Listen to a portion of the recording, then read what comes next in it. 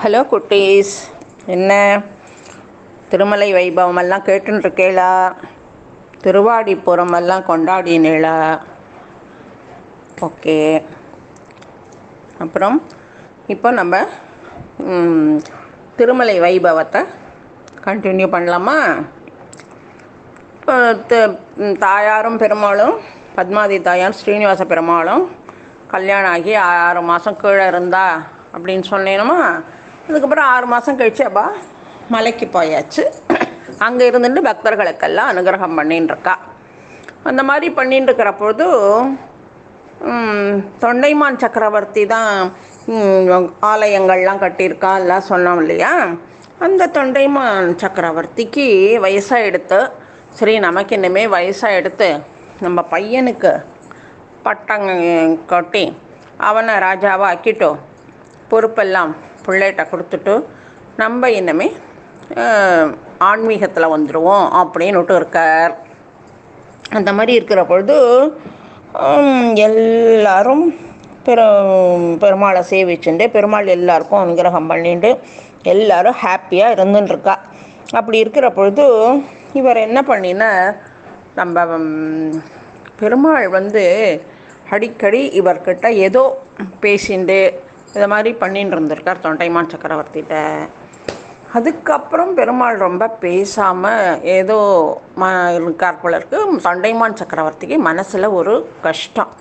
என்னது பெருமாள் ரொம்ப ஏகாந்தமாக இருக்கார். நம்மக்கிட்ட ஒன்றுமே பேச மாட்டேங்கிறாரே அப்படின்னு நினச்சார்.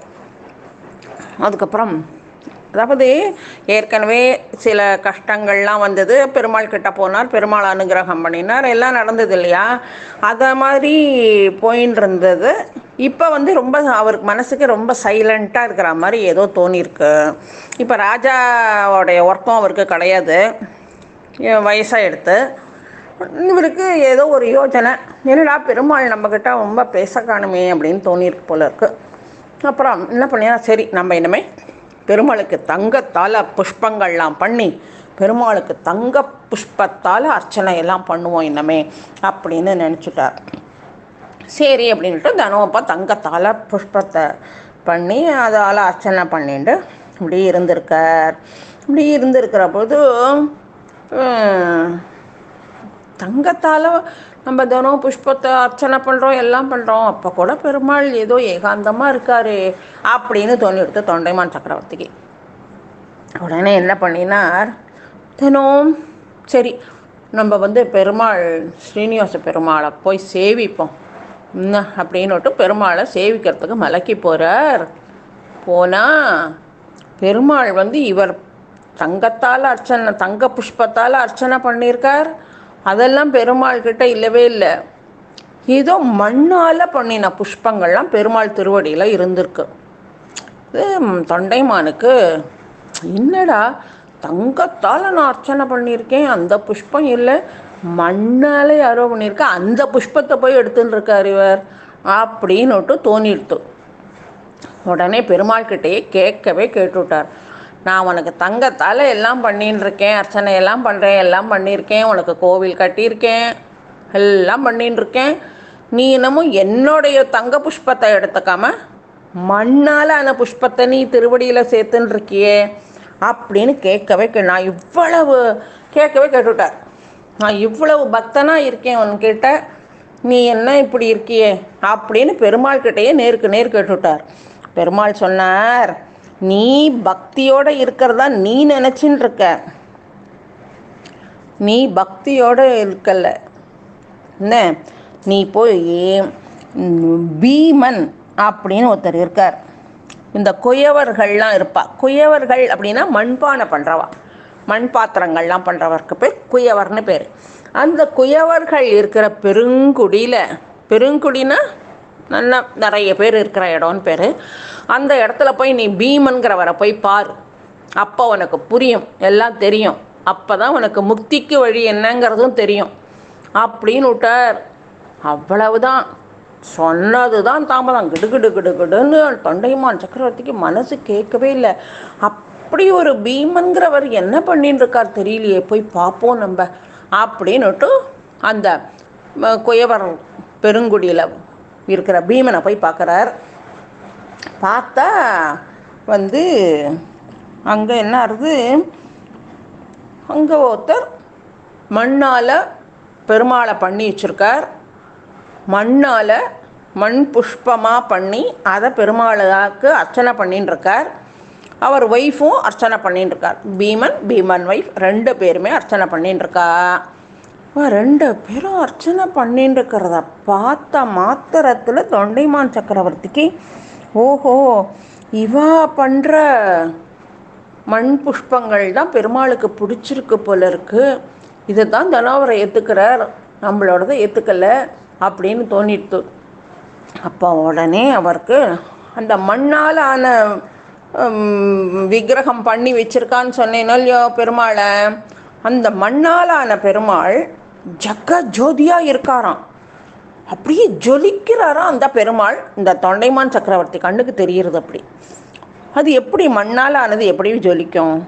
அதுதான் பெருமாள் கிட்ட நம்ம ஈடுபாட்டோட உண்மையான பக்தியோட நம்ம எந்த காரியம் பண்ணினாலும் பெருமாள் பக்திக்கு மெச்சு அதை அவ்வளவு சூப்பராக ஆக்கிடுவோம் அதை அந்த மாதிரி இந்த பீமனும் அவள் ஒய்ஃபும் பண்ணி வச்சுக்கிற மண் விக்கிரகமே அப்படி ஜொலிச்சுன்னு இருந்துதான் உடனே பார்த்தார் தொண்டமான் சக்கரவர்த்தி.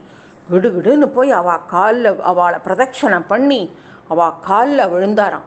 இவாளுக்கு இந்த பீமனுக்கும் அவள் ஒய்ஃப்க்கும் என்னன்னே புரியலையாம் என்ன பண்ணுறாரு இவர்? யார்? ஒன்றுமே தெரியலையே நமக்கு. இவர் போய் நம்மளை பிரதட்சணம் பண்ணுறாரு சேவிக்கிறார்.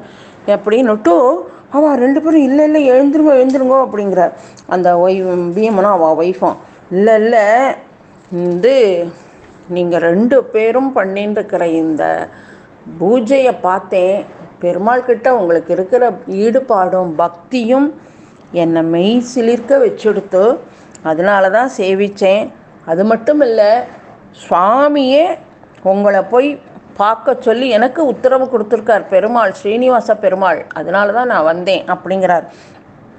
நான் வந்து ராஜாவாக இருக்கேன் எல்லாமா இருக்கேனே தவிர்த்து எனக்கு உங்களை மாதிரி ஒரு பக்தி எனக்கு இல்லையே அப்படின்னு நான் நினச்சிட்டேன் அப்படிங்கிறார். சொன்ன உடனே அப்போ தான் இவாளுக்கு புரிகிறது ஓ வந்திருக்கிறது ராஜாவா அப்படின்னுட்டு அப்புறம் சொல்கிறார் நான் இவ்வளவுலாம் இருந்தாலும் எனக்கு உண்மையான பக்தி இல்லையே. உங்களுக்கு இருக்கிற இந்த பக்தி இல்லையே அப்படின்னு சொல்லி சொன்னார். பீமனோவா மனைவியும் தொண்டமான் சக்கரவர்த்தின்னு அப்போ தான் புரிஞ்சுக்கிறா. உடனே புரிஞ்சுட்டுது அரச அந்த ராஜா என்ன பண்ணுறான் அந்த அவளை விழுந்து விழுந்து சேவிக்கிறாராம் அந்த ராஜா. ஏன் எப்படி அவ மண்பானை பண்ணுறவா தான். இவர் ராஜா. இவர் போய் சேவிக்கலாமோ? இல்லை. ஆனால் அவர் சேவிச்சார். காரணம் பெருமாள் கிட்ட யார் பக்தியாக இருக்கிறாளோ அந்த பக்தாளை நம்ம கட்டாயமாக சேவிக்கணும். நம்ம என்னதான் பெரிய ச வசதி படைச்சவாளாக இருந்தாலும் நமக்கு அதெல்லாம் நம்ம நினைக்கக்கூடாது உடனே பெருமாள் என்ன பண்ணினார்? இந்த பீமனும் அவ ஒய்ஃபும் அந்த ராஜான்னு தெரிஞ்ச உடனே அவரை விழுந்து சேவிக்க ஆரம்பிச்சிட்டா. இவ பி ரெண்டு பேரும் மாற்றி மாற்றி சேவிக்கிறதும் பெருமாள் அங்கேருந்து சங்கு சக்கரதாரியா? அந்த குடிசையில் அந்த மண்பானை பண்ணுறவர் வீட்டில் ஜக ச- சங்கு சக்கரதாரியா? அப்படியே காட்சி கொடுக்குறாராம். அந்த காட்சியை பார்த்த உடனே ஒன்றும் புரியல இவாளுக்கு. ஆஹா பெருமாளே வந்திருக்காருன்னு மனுஷன் எல்லாரும் விழுந்து விழுந்து சேவிக்கிறவையா? மூணு பேர் விழுந்து விழுந்து சேவிக்கிறா ஸ்ரீனிவாச பெருமாளை.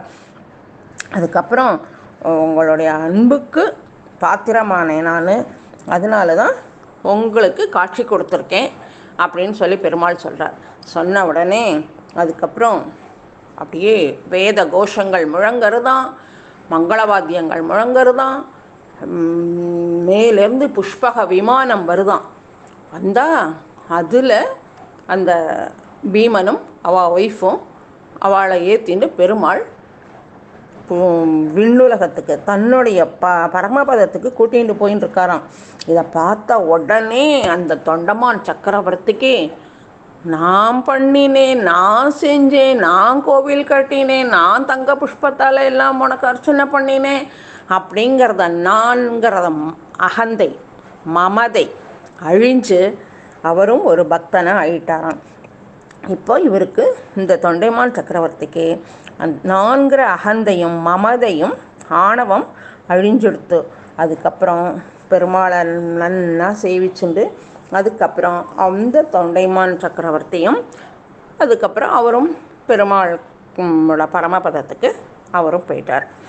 இது இந்த தொண்டைமான் சக்கரவர்த்தியும் இந்த குயவனுக்கும் உள்ள பக்தியோட வித்தியாசத்தை காமிக்கிறதுக்கு தான் பெருமாள் இந்த ஒரு விளையாட்டை விளையாடியிருக்கார் இதே மாதிரி நம்மளும் என்ன பண்ணணும் இன்னமே?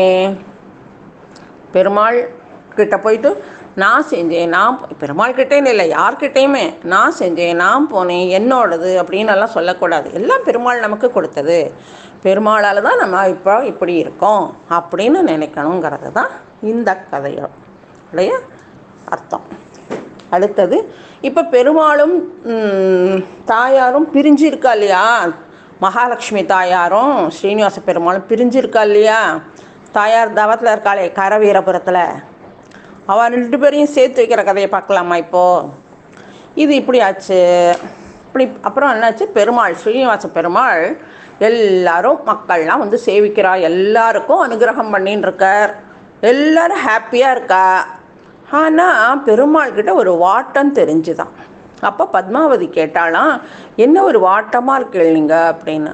இல்லை நான் வந்து கல்யாணத்துக்கு குபேரங்கிட்ட கடன் வாங்கினேன். அந்த கடனை இன்னும் அடைக்கலை. இந்த மகாலட்சுமி அங்கே கரவீரபுரத்தில் இருந்துன்னு இப்போ மகாலட்சுமியும் வந்தால் தான் நான் வந்து இந்த குபேரனோட கடனை அடைக்க முடியும் அப்படின்னு சொல்கிறார் சொன்ன உடனே பத்மாவதி சொல்கிறாலாம் நீங்கள் வந்து மகாலட்சுமியை வர சொல்லுங்க. நீங்கள் ரெண்டு பேரும் இருங்கோ. நான் உங்களுக்கு கைங்கரியம் பண்ணுறேன் அப்படின்னாலாம் கைங்கரியம் அப்படின்னா என்ன? பெருமாளுக்கும் தாயாருக்கும் நித்தியம். அவர் அவளுக்கு அவள் இருக்கிற இடத்தெல்லாம் மூழ்கி கோலம் போட்டு இப்போ தாளிகை பண்ணி எல்லாம் பூ புஷ்பங்கள்லாம் எடுத்துன்னு வந்து எல்லாம் பண்ணணும் இல்லையா? அதுக்கு பேர் கைங்கரியம். பெருமாளுக்கு நம்ம என்ன பண்ணுறோமோ அதுக்கு பேர் கைங்கரியம்னு சொல்லணும். ஸோ நான் பண்ணுறேன் நான் நான் எல்லா கைங்கரியமும் பண்ணுறேன் உங்களுக்கு அப்படின்ன உடனே பெருமாளுக்கு ஹாப்பியாகிட்டா ஆ சொல்லிட்டா அப்படின்னுட்டு. உடனே அவர் என்ன பண்ணினார்? கரவீரபுரத்துக்கு போகலான்னு கிளம்புறார் பெருமாள்.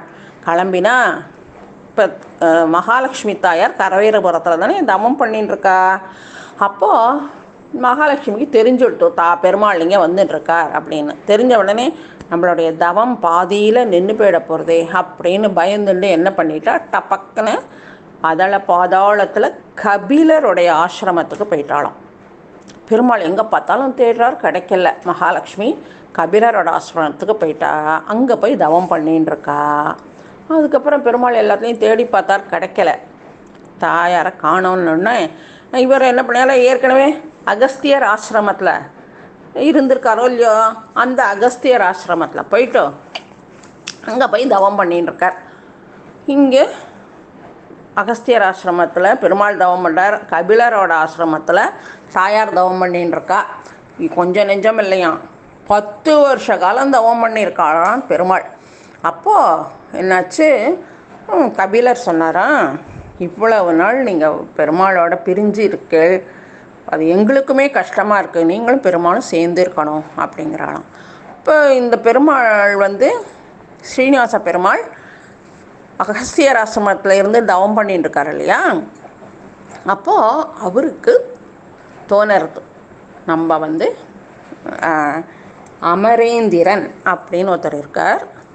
அவர்கிட்ட சொல்லி ஆயிரம் தாமர ஆயிரம் என்னது சொல்கிறது மடல் ஆயிரம் இதழ்கள் இருக்கிற தாமரை புஷ்பத்தை கொண்டு வந்து அந்த பத்ம சரோவரம் திருச்சானூரில் இருக்கு இல்லையா பத்ம சரோவரம் அந்த பத்ம சரோவரத்தில் இருக்க வச்சுட்டு அங்கே வந்து ஆயிரம் இதழ்கள் கொண்ட தாமரை புஷ்பத்தை வச்சு சூரியனுடைய ஒளி கதிர் அதில் விழற மாதிரி பண்ணுவோம். அதுக்குள்ளேயும் தாயார் வந்துருவா அப்படின்னு அவருக்கு ஐடியா தோணித்து சரின்னு அவர் பண்ணின்னு இருக்கார். அதை மாதிரி பண்ணின உடனே தாயாருக்கும் கபிலர் சொன்ன வார்த்தைக்கு மரியாதை கொடுத்து தாயாரும் என்ன பண்ணினா பெருமாளோட சேரணும் அப்படின்னு தாயாரும் நினச்சின்னு இருக்கா பெருமாள் என்ன பண்ணினார்? தாயாரோட சேரணும்னு நினச்சிட்டுருக்கா ஸோ ரெண்டு பேரோட எய்ம் ஒரே மாதிரியே இருந்ததுனால ரெண்டு பேரும் சேர்ந்துட்டா. தாயாரும் வந்து சேர்ந்து தாயாரும் பெருமாள் கிட்ட வந்து சேர்ந்துட்டா. வந்து சேர்ந்ததுக்கப்புறம் இந்த அவன் ரெண்டு பேரும் சேர்றா அப்படிங்கிற போது எல்லாம் முப்பத்து முக்கோடி தேவர்கள் முனிவர்கள் மக்கள் எல்லாரும் வந்து சிவன் பார்வதியிலேருந்து எல்லாரும் வந்துட்டாளாம். வந்து இந்த காட்சியை கண்டு எல்லாருக்கும் ஒரே சந்தோஷமா. அப்படி சேர்ற போது தாயாருக்கு ஒரு சஞ்சலம் வந்துதான். என்னன்னு பார்த்தா பிருகு முனிவர் அங்கே இருக்காராம். ஏன்னா ஏற்கனவே பிருகு முனிவரால் தானே இவா ரெண்டு பேரும் பிரிஞ்சா. அதனால தாயாருக்கு ஒரு பயம் வந்துட்டோம் இந்த பிருகுமுனிவர் இங்கே வந்துவிட்டாரே அப்படின்னு ஒரு ஒரு நினைக்கிறா தாயார்.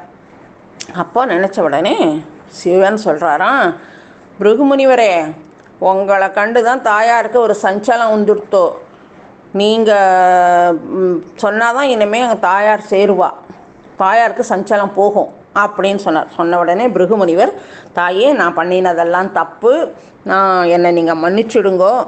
நான் தெரியாமல் தப்பு பண்ணிட்டேன் அப்படின்னு சொல்லி சொல்கிறாராம் பிருகுமுனிவர். சொன்ன உடனே தாயார் சரி அப்படின்னுட்டும் தாயாரும் பெருமாளும் அவர் செஞ்ச தப்பை மன்னிச்சு அவர் ரெண்டு பேரும் இருக்கா? உடனே தாயார் என்ன பண்ணினா பெருமாளுடைய வல மார்பில் எழுந்தருளிட்டா. அப்பதுக்கப்புறம் என்ன ஆச்சு? பெருமாள் சேஷாச்சலத்துக்கு வரார் பத்மாவதியும் அவளுக்கு பணிவடையெல்லாம் பண்ணிட்டு ஹாப்பியாக எல்லா பாபா மக்களுக்கெல்லாம் அனுகிரகம் பண்ணிட்டு ப்ளஸ் பண்ணிட்டு இருக்கா. இப்படி இருக்கிற பொழுது பெருமாள் சொல்கிறார் தாயார்கிட்ட அம்மா கலியுகம் முடி நான் குபே கல்யாணம் நம்ம கல்யாணத்துக்கு குபேரன்கிட்ட கடன் வாங்கினேன். கலியுகம் முடியரச்சை கொடுக்குறேன்னு சொல்லி சொல்லியிருக்கேன்.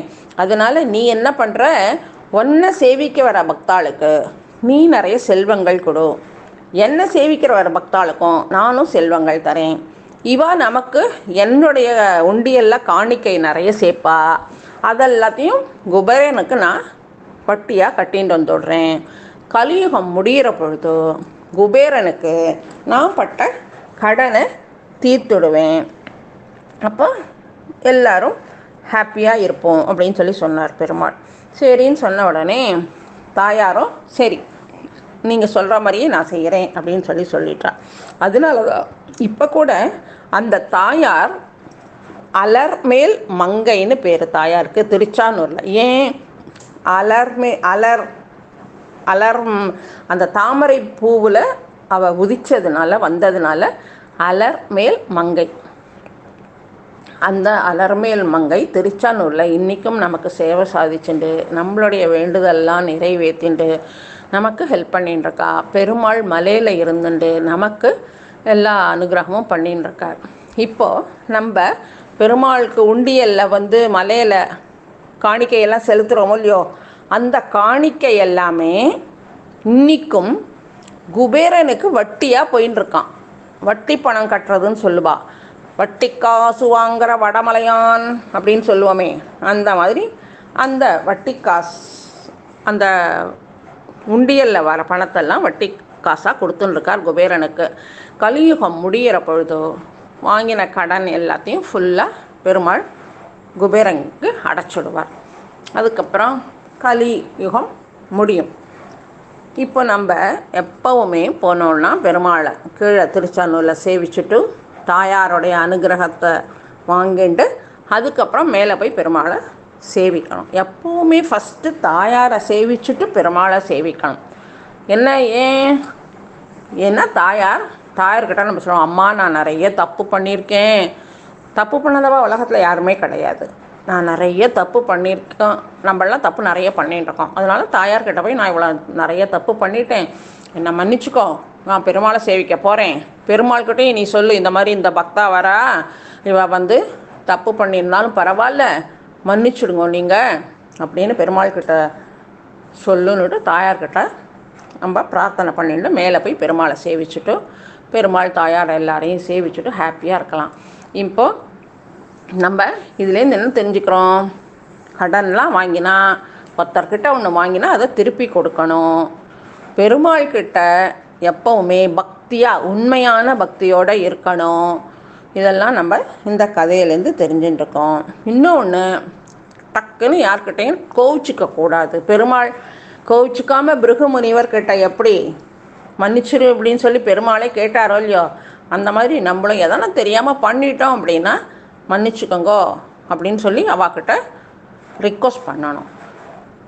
ஓகேயா இதோ இன்னியோட இந்த ஸ்ரீனிவாச பெருமாள் அலர்மேல் மங்கை பெருமாளுடைய வைபவத்தை இது வரைக்கும் கேட்டோம் நம்ம.